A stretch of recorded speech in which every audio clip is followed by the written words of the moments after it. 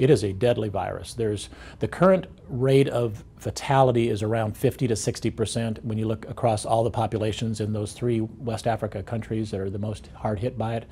Uh, but it's in some regions is as high as 90 percent fatality rate. Ebola is a virus that's carried not by coughing and sneezing like so many of the viruses that we're accustomed to, but it's through the direct contact with blood and other kinds of secretions uh, from a person that's infected.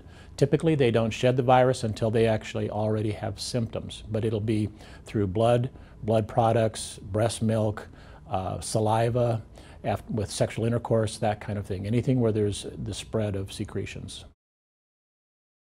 If virus enters my body, um, it, I probably won't become ill with it for eight or 10 days, is the average. The, but it can be as short as two days or as long as 21 days.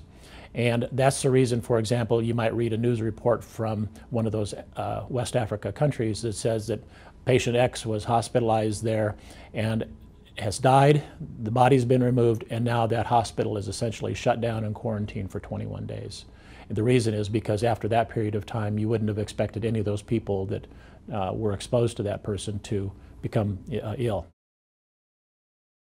The thing that's different about this outbreak is that it's also involving large cities.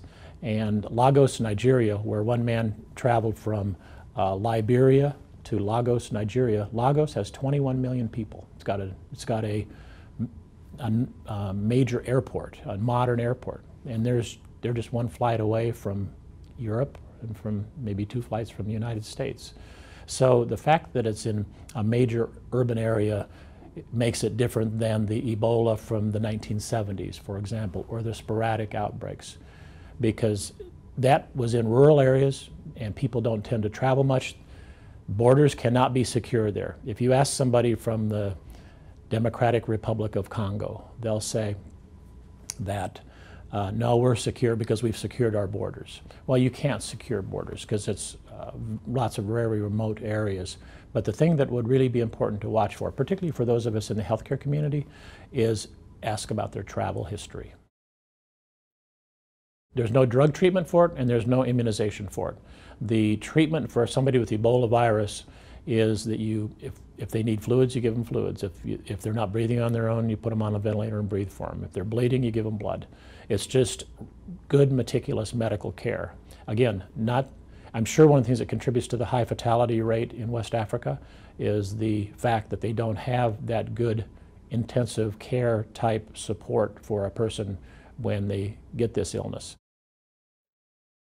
It is highly contagious. And one of the things that you, know, West African custom is that the people take care of their, their own deceased people. Here they go off to undertakers and are embalmed and different kinds of things. In these uh, African nations, they take their deceased loved one, they wash their body, they prepare it for the burial ceremony, and so they come in contact because a person's infectious even after they're dead.